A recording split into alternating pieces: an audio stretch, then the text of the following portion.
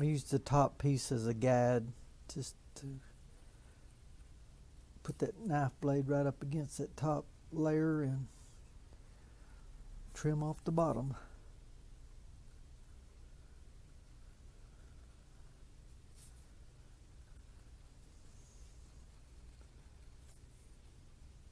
I think you'll see that you can make these fairly fairly fast.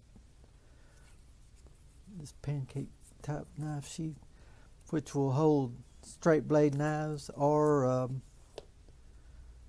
folding knives. And it fits on a belt. I've got, um, let's see. I think I'm going to use this uh, number two, one thirty. It's a number 133, size number two. It's a C.S. Osborne Western Edger. And then I have this Weaver edger I like. It's a number one. It's for tight corners, and I'll use that on my slots.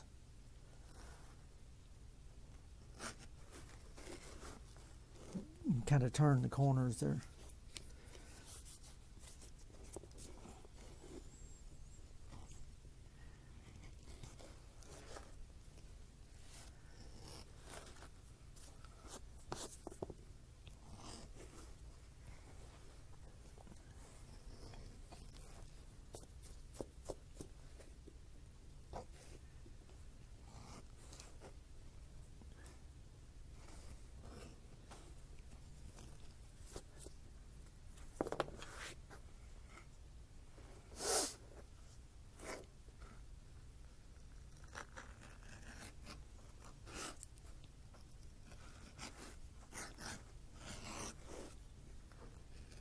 This rounds the edges and gives it a good finish.